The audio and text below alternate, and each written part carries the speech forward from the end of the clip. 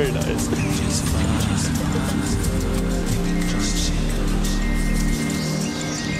What do you think is the largest mammal that you can knock out with a single punch? Largest what? Oh fuck! It's gotta be some kind of monkey, but not a big monkey. Like a chimp? Think you Yeah. can deck a I don't chimp? know. Chimps are pretty strong.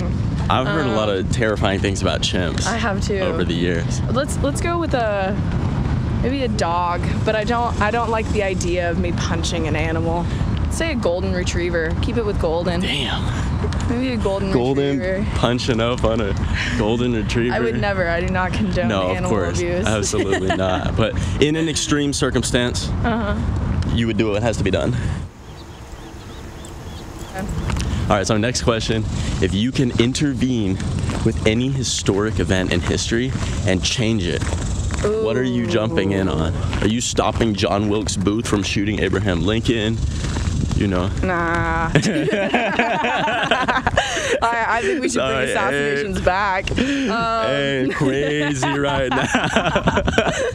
oh my God. Oh, what would I intervene in? Honestly, I've been doing a lot of research into the Hindenburg. The Hindenburg. Yeah, the explosion of the Hindenburg. Hey, can we rotate around this way? Yeah, for sure. The that audio. yeah, the Hindenburg tragedy. It's a giant fucking blimp. They used hydrogen gas to power it and to keep it floating. No one really knows what started the fire that happened on the Hindenburg, Okay. but a lot of people suspect that it was said Somebody smoking room. But basically, spark turns to flame, whole thing goes up, uh, kills hundreds of people. Hundreds of people. Hundreds of people came crashing down. And they were like airborne at this moment. Yeah. Um, and crazy, but there was a monopoly on hydrogen at the time. The company who who uh, built the Hindenburg had basically um, made it to where they were the only ones in control of the gas hydrogen. That company ended up like falling and really failing because Stock their plummeted. their number one product exploded in the sky. So, what's a lesson you think you've had to learn the hard way, but you're thankful that you did in retrospect? I know the answer for that one immediately. Whoa. Okay. what is it? I think, like in childhood, being a middle child, I developed a unnecessary need for like attention. So like I was as a kid and into like my early adulthood, very much like attention-seeking behavior, uh, whether that be like acting out or sometimes it was like doing something really good, but it was always for like my own like kind of other people's perception of me or like trying to control that narrative when really you have no control over that narrative. Um, and then i pulled a prank in college. You're aware of this one. Wait, the college remind me uh, of the clown prank. In 2016 when stephen king's it movie was coming out there was like a clown frenzy where people were dressing up as clowns with weapons everywhere Oh my gosh, I I- remember this yes. actually. People were on college campuses with Yep. machetes and a whole and it bunch was of it was nonsense. happening everywhere. So the before pulling said prank, I thought that it was going to be fine because this was happening everywhere. Uh, but I made the stupid decision to tweet that there was a clown with a machete on my college campus. And purely just for shits and gigs, but also to like kind of get attention myself, you know? And this uh, tweet, like, locally went viral. College campus gets shut down. They shut down the They, campus. they put it on lockdown. Police Yo. everywhere. Um, I got charged with uh, inciting a riot and with filing a false police report, and that was the death of my attention-seeking habits. Shit. So I think that that was a hard lesson to learn. I had to go to court four times. It's six months of probation, but it could have been much worse, and it should have never happened in the first place. But it did point out to me that I had this negative behavior that had carried through my childhood into adulthood that needed to die in my adulthood. So Wow. it's gone, uh, mostly. How do you define what growth or success looks like in your life? I think obviously society kind of has its own definition of what success is. Of course. And I many, think, many, right? yeah, I think uh, growth and like figuring out where you want to be, how you want to get there. I think a, a big part of that is having the ability to step outside of what the society expectations of those things are mm. and figuring out what it is for you as an individual. So, like for me, society pretty much like teaches you like after high school you you go to college you start your career after college you work in that career until you retire and then mm-hmm. You, your life goes on from there but for me i am not the type of person who wants a singular career because i get bored really easily and i And side quests are so- incredible. Yes. So I I like to be a jack of all trades.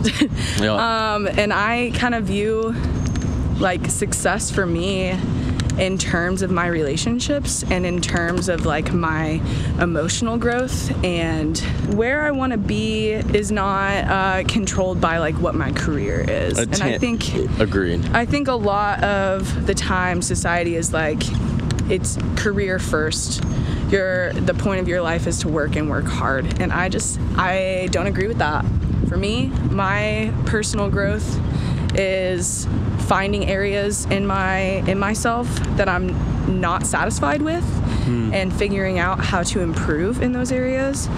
And success from that is growing in those areas, but also like having the people in place that can hold you accountable when you're not growing. Agreed. I think Agreed. Huge. I think it's really easy to become stagnant, and I think having people in your corner who are willing to be like, "Hey, like, I'm noticing this." That's that's coming from like a place of love, and my my success in my life, my biggest success in my life, is my relationships, and will always be my relationships and the quality of those.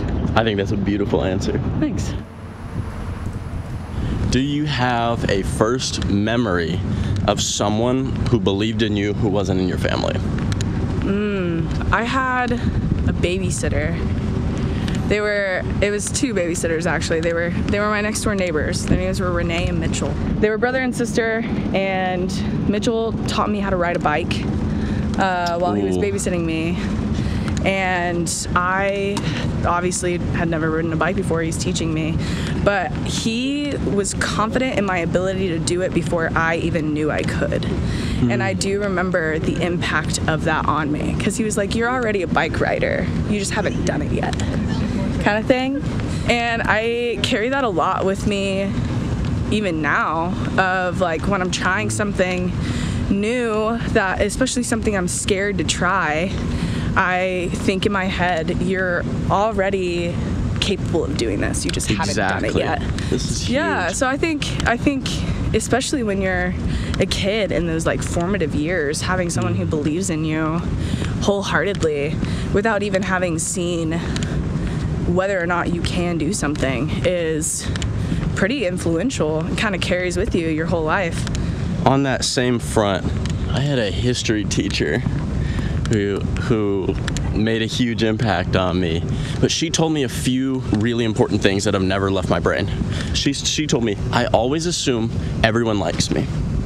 This, and it's it made an impre- it made such a strong impression when she told me this because I'd never even I'd always thought about that. never considered it. And you, people get so in their heads about like, does this person like me? Do Exactly. they, do, uh, do they not? She's like, I always assume whenever I meet somebody, they already like me. We're already friends. I'm going to talk to them and speak to them as though we already know each other in a history. It- it's kind of crazy you're code. saying this because you literally do do that. that, but that's You talk to people like you've known them for so long already. and she's one of the original inspos for that. I love that. The OGs. cool.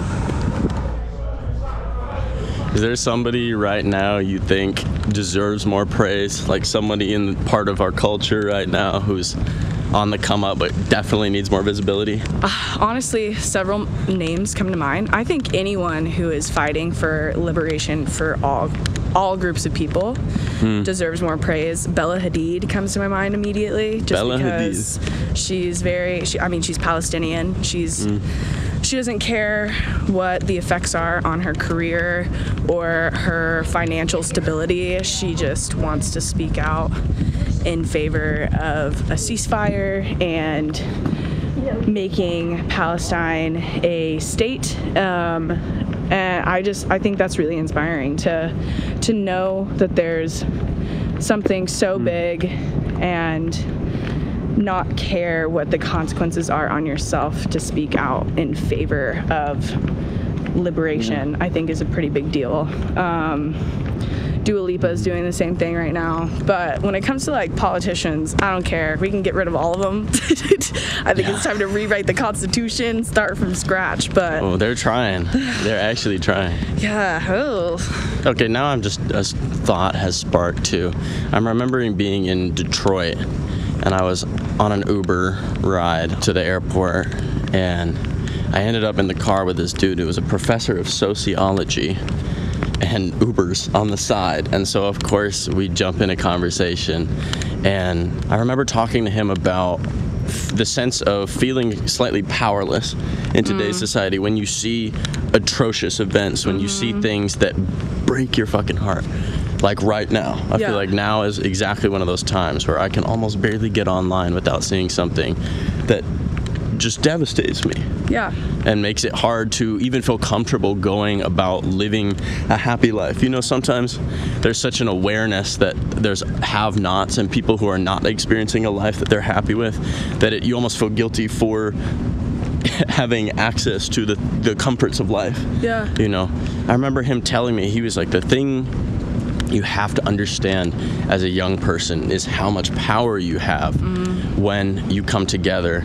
And the biggest lie, if you will, that people, incumbents in power, want you to believe is that you don't have a voice.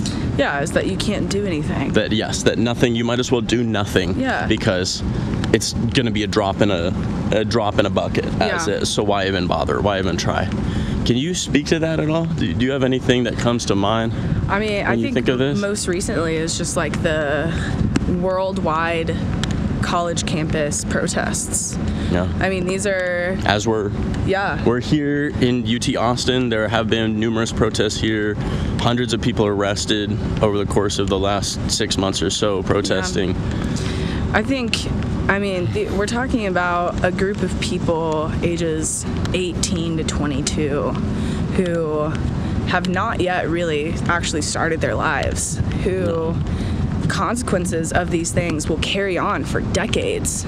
I mean, getting an arrest at an age like that, that carries with you on your record for a very long time. These are consequences that last for a really long time, and yet these people are choosing to stand up and make their voices heard rather than be silenced. With UT, with Columbia, with a bunch of other schools, basically, like, people weren't allowed to graduate for their protests. People uh, were expelled from the school, people were arrested. Um, charges uh, in UT thankfully like in Austin all of the charges against UT students were dropped. But that is not the case for everywhere. And faculty is more concerned about the image of the school than the well-being of kids in a lot of these universities. So I think I think that just like watching the power of students kind of take on the man is really is really cool it's really cool to watch The Kids are all right. The Kids are all right. Would you have any advice for someone who feels this way but hasn't yet had the courage to speak up about something they're passionate about or care about in that way? Yeah, um I mean, what are you scared of? You might lose some relationships, you might lose the support of some people in your life and the opinions of some people about you may change, but are you being true to yourself and are you being true to your morals and your ethics? I think that's all that really matters. Um, and I promise you, if you do start using your voice, you are not going to be the only one speaking, uh, and you're not going to be the only one saying what what needs to be said. Agreed. Uh, the ripple effect. You throw a rock in a in a body of water, and it ripples. Same thing with one person using their voice. It inspires and empowers other people to do it as well. And I think if you're thinking about how scary it might be to speak out, whether it be in in favor of Palestine, whether it be about Sudan or literally any conflict that's happening in the world. If you're scared of the consequences of speaking out, you're not going to be the only one speaking. And I think there's Agreed. I think there's a lot of power in knowing that. I agreed. I think it's also a question of what kind of people do you want to surround yourself with?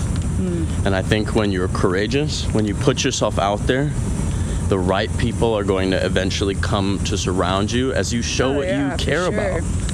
Right? Um, I often think about something someone said to me several years ago, which is you are the culmination of your five closest friends. Oh, the one uh, hand, the one hand yeah. rule right there. And I try to surround myself with people who are like minded to me, but not so much so that we're clones. I like having a healthy debate. I like when someone presents me with new information and it changes my initial opinion. I, I do a lot of research into the things that I speak about, and that's why I can say them with confidence. But if I'm presented with the right new information, then I'm gonna I'm gonna look into Change it your deeper mind. and I'm gonna change my opinion because that's what growth is. Growth is learning that sometimes you're wrong and that's okay. Yeah. Um, But I think it's really important to surround yourself with community that is also aware of that and also wants to strive to empower themselves and empower each other. Thank you. Yeah. Thank you so much. Of Thank you so much for going on a walk with me. Of course, Thank I you for your energy. you. We used to do this way more often. And thank you for your time and energy. Once again, if there's anybody you think I should have a conversation with, please tag them down in the comments. If you have a great question, whether it's funny, horny, silly, weird, whatever, drop that in the comments. It would mean the world to me. With that being said, hey, have a great day.